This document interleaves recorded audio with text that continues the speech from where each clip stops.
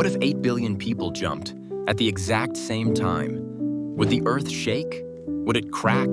Or would absolutely nothing happen? Imagine every human from Tokyo to Toronto, Cape Town to Cairo, all standing still, all ready to jump together.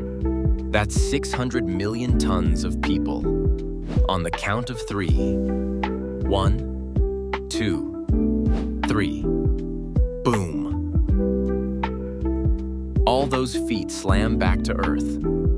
Seismographs would detect the shockwave. You might feel a small tremor, but Earth, it wouldn't even flinch.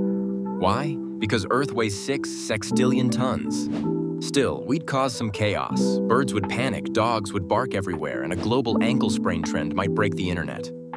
So next time someone says, let's shake the world, technically, we could.